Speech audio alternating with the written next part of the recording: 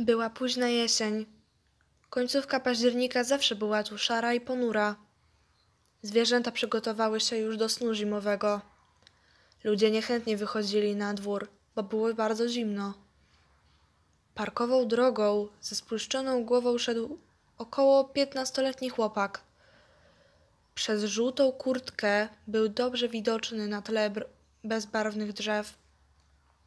Widać było na jego twarzy strach i smutek.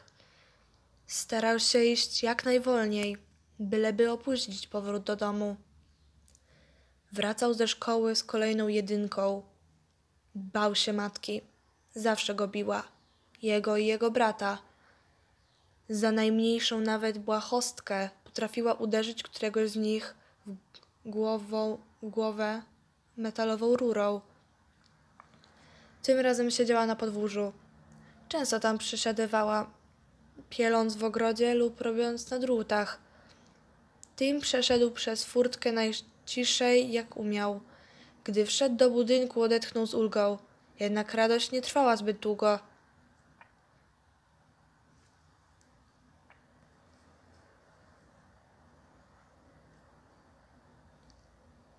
W jednej chwili poczuł głośny szum w uszach, przeprawiający go ból.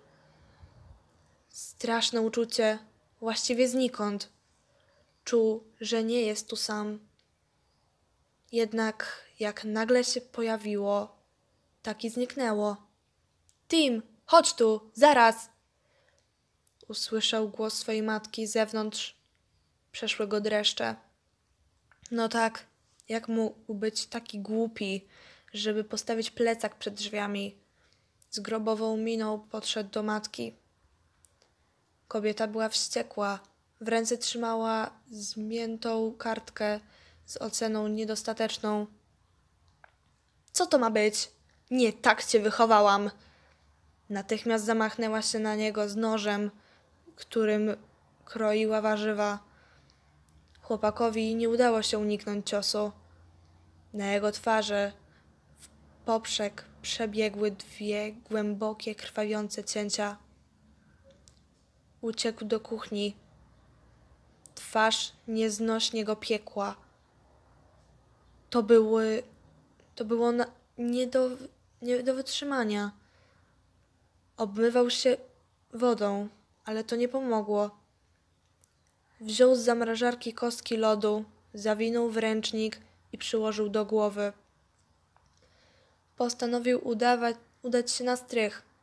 Zawsze lubił tam siedzieć. Było cicho, spokojnie i nie było tam jego matki.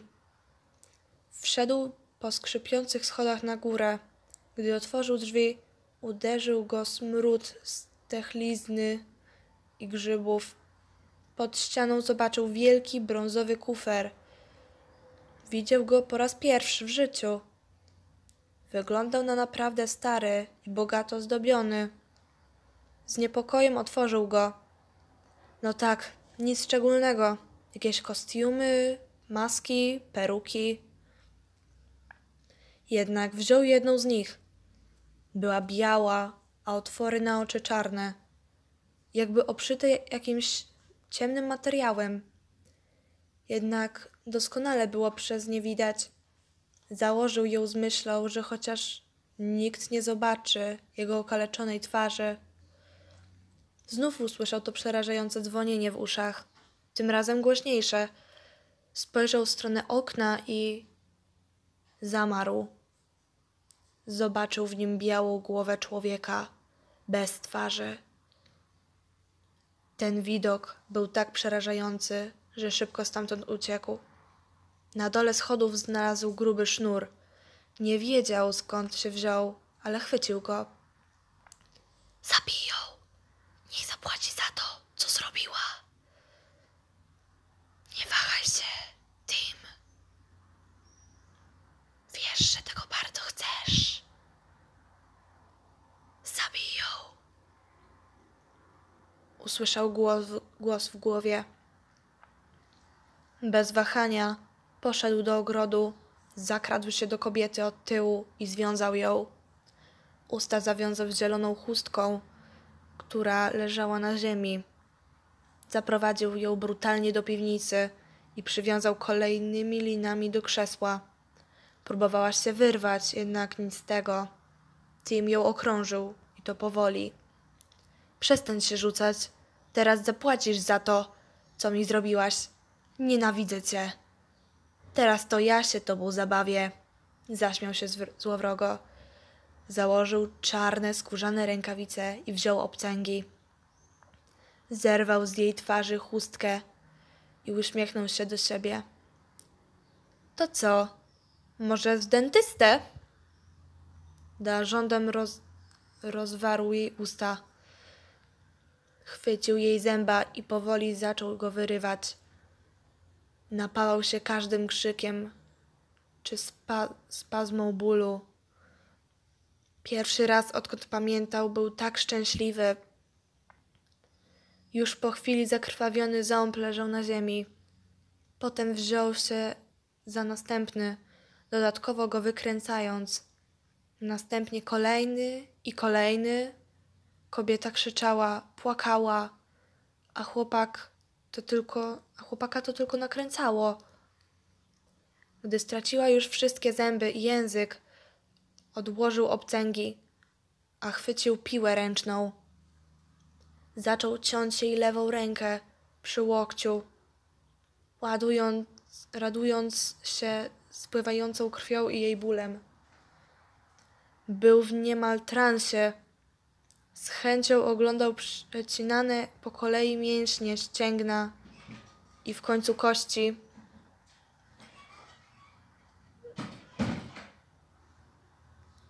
W jednej chwili drzwi się otworzyły. Stanął w nich jego brat bliźniak, Brian. Był w szoku. Brian! Co tak wcześnie? zawołał wesoło. Zostaw ją! wydusił. Był w naprawdę niezłym szoku. Dlaczego? Ona nas krzywdziła tyle lat. Uwolnij ją, proszę. Po co? Błagam. Dobra, poczekaj. Odciął jej prawą dłoń. Jeśli nie będzie mogła pisać, nikt się nie dowie. Brian złapał brata za ramiona i gwałtownie potrząsnął. Co do cholery w ciebie stąpiło? To zadziałało na niego jak kubeł zimnej wody. No właśnie, co? Nigdy tak się nie zachowywał.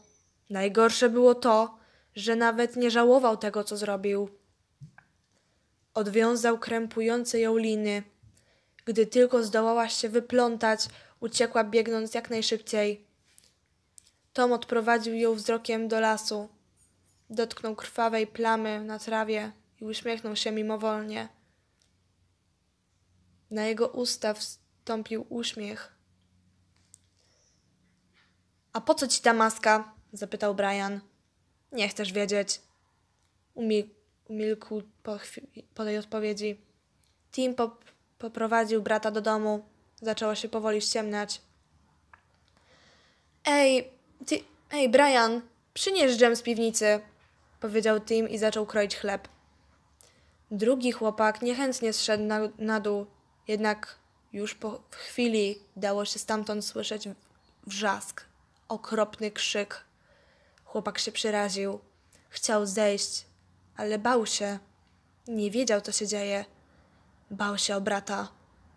Jednak Brian wrócił po minucie, jakby nic się nie stało, ale wyglądał strasznie. Jego twarz była pozbawiona uszu, nosa, zupełnie gładka i czarna. Jego ręce były również czarne, jakby spalone. Nie miał powiek, a jego gałki oczne były całe czerwone. Nie było na nich źrenic, tęczówek. Były po prostu jednolite. Miał na twarzy odwrócony uśmiech. Coś na kształt smutku. Jednak trudno określić, czy był wycięty, czy namalowany. W każdym razie na pewno nieprawdziwy. Na głowie miał kaptur. Co ci się stało? Tim się przeraził. Ale brat nie mógł mu odpowiedzieć. Nie chciał też napisać. Jakby strach przed tym go sparaliżował. Usiadł przy stole, stawiając dżem na, na blacie.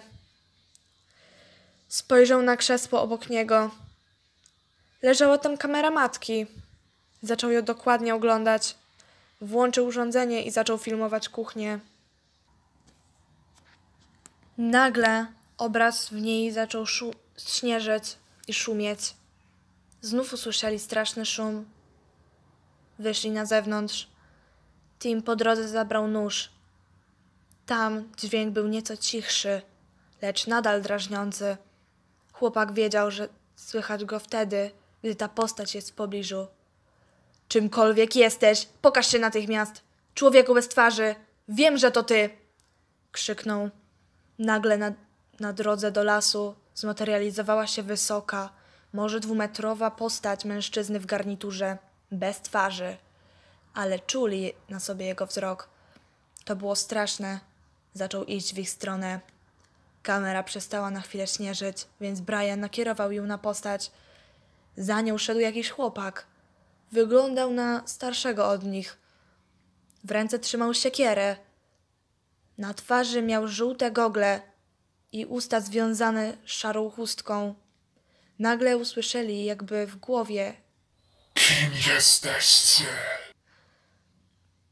Ja, e, Maski, a to mój brat, e, Chudy, wymyślił na poczekaniu Tim. Nadają się. Znów usłyszeli głos w głowie i chłopak z siekierą zaczął iść w ich kierunku. Hej, Maski, witaj, Chudy. Jestem Tiki Toby.